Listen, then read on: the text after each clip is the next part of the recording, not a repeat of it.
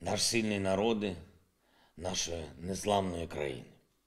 Завершився 24-й день повномасштабного вторгнення Росії в Україну після восьми років агресії. Українці довели, що вміють воювати професійніше, ніж армія, яка воює десятки років в різних регіонах та за різних умов. Ми відповідаємо мудрістю, хоробрістю на величезну кількість їхньої техніки і відправлених в Україну солдатів. Саме тому, наприклад, українська Чорнобаївка увійде в історію воїн. Це місце, де російські військові, їх командири показали себе повністю такими, які вони є. Бездарними, здатними просто гнати своїх людей на забій. Шість разів наші військові знищували окупантів під Чорнобаївкою. Шість разів. І вони все одно приходять туди. Блокадний Маріуполь увійде у історію відповідальності за воєнні злочини. Зробити таке з мирним містом, що зробили окупанти, це терор, який будуть згадувати і через століття. І чим більше українці говорять про це світові, тим більше ми знаходимо підтримки. Чим більше Росія застосовує терору проти України, тим гірше наслідки наступають для неї. Сьогодні звернувся до народу Швейцарії. Це особлива держава. Вона не розштовхує ліктями інших на міжнародній арені, але коли говорить своє слово, то його чують абсолютно всі. Швейцарія підтримала санкції проти Росії, які застосував Європейський Союз. Це означає дуже багато для російської державної машини, для людей, які звикли, що влада це гроші, а отже, це банки. А отже, Швейцарія та інші країни, які допомагають зберегти капітал. Я вдячний президентові і народу Швейцарії та їхній всій державі за те, що вони щирі у підтримці нашої боротьби за життя і свободу, за те, що вони не залишились осторонь, і закликав їх зробити декілька важливих кроків, щоб усі швейцарські компанії, які ще не полишили російський ринок, зробили це негайно, щоб не віддавали жодного долара, франка чи євро російській військовій машині на вбивства наших людей, щоб усі винні у війні проти нашої держави не могли насолоджуватись життям у Швейцарії, нерухомістю у Швейцарії, банками у Швейцарії. Наші збройні сили продовжують стримувати ворога на всіх основних напрямках, завдають російським військам небачених втрат, окремі підрозділи окупантів знищені на 80-90%. В местах особенно жестоких боев передний край нашей обороны просто завален трупами российских солдат. И эти трупы, эти тела никто не забирает. По ним гонят наступление новые части. Какие-то резервы, которые командование российских войск собирает где только может. Мы прекрасно понимаем, что у России есть просто бездонный человеческий ресурс и достаточно много техники, ракет, авиабомб. Но я хочу спросить у граждан России, что с вами сделали за эти годы, что вы перестали замечать ваши потери?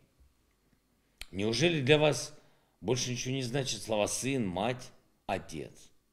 Уже больше 14 тысяч убитых ваших солдат. Это 14 тысяч матерей, 14 тысяч отцов. Это жены, это дети, родственники, друзья. И вы этого не замечаете. А ведь жертв будет только больше, пока продолжается эта война. Это война ваша против нас, России против України на нашій землі. В суботу працювали 8 гуманітарних коридорів. Вдалося врятувати 6623 людини. Через обстріли окупантів нам не вдалося забрати людей, на жаль, з Бородянки Київської області. Але ми не полишимо цих спроб з Бервиці, Бучі, Богданівки евакуювали українців до Броварів з Лисичанська, Попасної, Северодонецька і Рубіжного Луганської області. Забирали людей до Бахмута. Вдалося виїхати і більш ніж чотирьом тисячам маріупольцям у Запоріжжі. на жаль, не вдалося доставити гуманітарний вантаж у міста Херсонської області. Російські війська заблокували рух нашої колони. Для чого? Їхня мета не змінилась. Так само намагаються зображати у своїй пропаганді, ніби Україна полишила громадян без найнеобхіднішого. Ніби Росія їх від чогось постійно рятує. Хоча ще 23 лютого у наших херсонців було усього більше, ніж в областях самої Росії. Говорив сьогодні з президентом Французької Республіки Макроном про нашу взаємодію, про пошук рішення для миру, для звільнення наших територій, для порятунку наших людей. Впевнений, ви розумієте, що переговори не є простими і приємними, але вони необхідні, бо це про життя.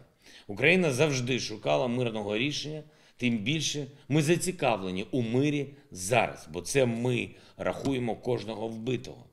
Бо це для нас має значення кожна зруйнована родина, кожен зруйнований будинок. Бо ми українці, і для нас людина безцінна. Сьогодні підписав указ про відзначення державними нагородами України 161 нашого захисника, із них 40 посмертно.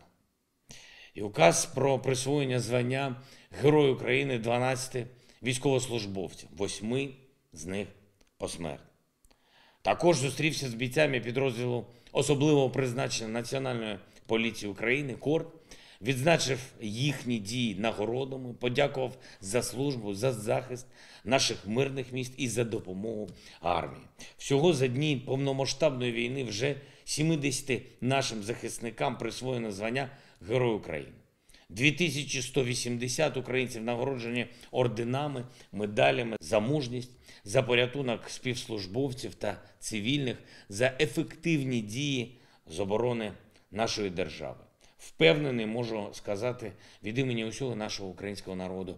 Ми щиро вдячні кожному з вас, кожному і кожній, хто захищає нашу державу і зупиняє армію окупантів, яку називали однією з декількох найпотужніших у світі. 19 березня святкує свій день народження українська поетеса Ліна Костенко. Щиро вітаю вас від імені усіх українців. І нагадаю сьогодні ось такі її слова. Не треба думати мізерно, безсмертя є ще де-не-де, хтось перевіяний, як зерно, у ґрунт поезії впаде.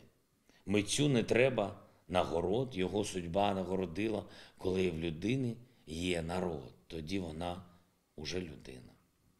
Дійсно, у кожного з нас є народ, і дійсно не треба думати мізерно, а особливо тим, кому українці дали право бути політиками. Я хочу нагадати усім політичним діячам з будь-яких таборів.